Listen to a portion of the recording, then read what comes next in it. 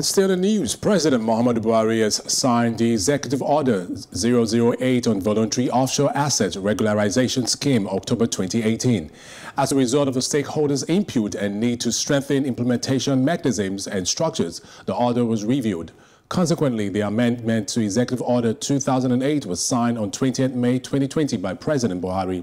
This is contained in a statement by Dr. Umar Jibrilu Gwandu, Special Assistant on Media and Public Relations, Office of the Attorney General of the Federation and Minister of Justice.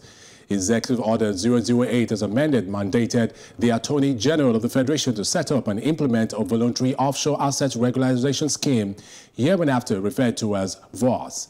VOAS gives all relevant persons and their intermediaries who have defaulted in declaration of their offshore assets the opportunity to voluntarily declare and regularize their offshore assets subject to fulfillment of the terms and conditions stipulated in the order and other subsequent regulations.